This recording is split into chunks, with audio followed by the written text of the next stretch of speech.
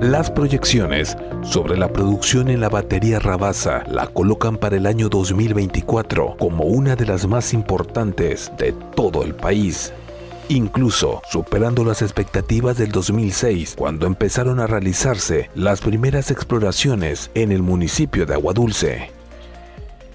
Los alcances de la producción diaria de crudo y aceite no solo fortalecerán a Pemex en el mercado internacional, sino que también se verá reflejado en las contrataciones de más trabajadores y servicios que robustecerán el sistema económico de la ciudad. Se fortalece la industria,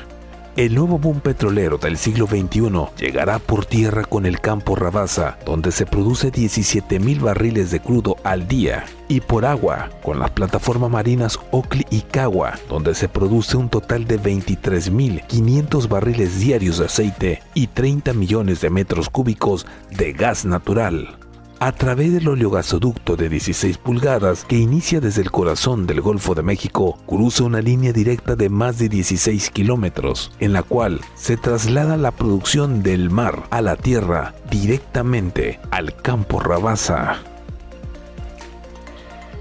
En el mar,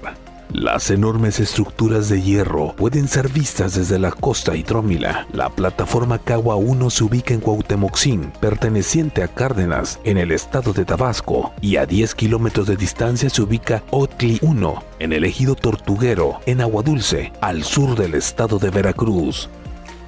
A esta zona se le conoce como el polígono AE0148 o Chiquil, en la cual a más de 3.000 metros de profundidad sobre el lecho marino se extrae el crudo. Los equipos trabajan de manera permanente y sin descanso durante todo el día y toda la noche, reportando una producción diaria de 25.500 barriles de aceite y 30 millones de metros cúbicos de gas.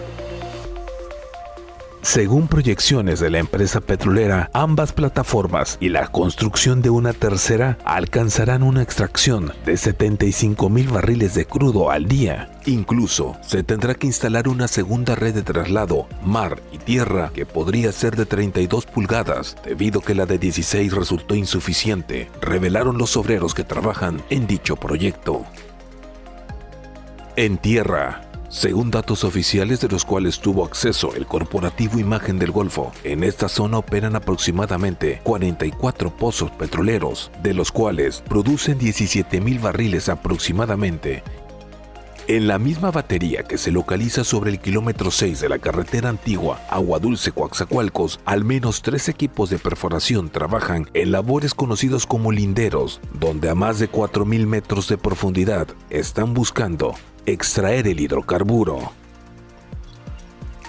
Las cifras alcanzadas proyectan a que la batería Rabasa podría convertirse en un complejo petrolero en los próximos años. Actualmente, el gas y el crudo que pasan por un proceso de purificación son enviados al complejo procesador de gas La Venta en el estado de Tabasco.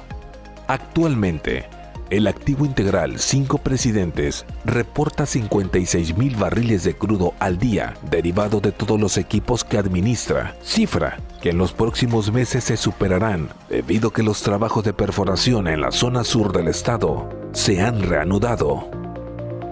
Desde Agua Dulce, para el corporativo Imagen del Golfo,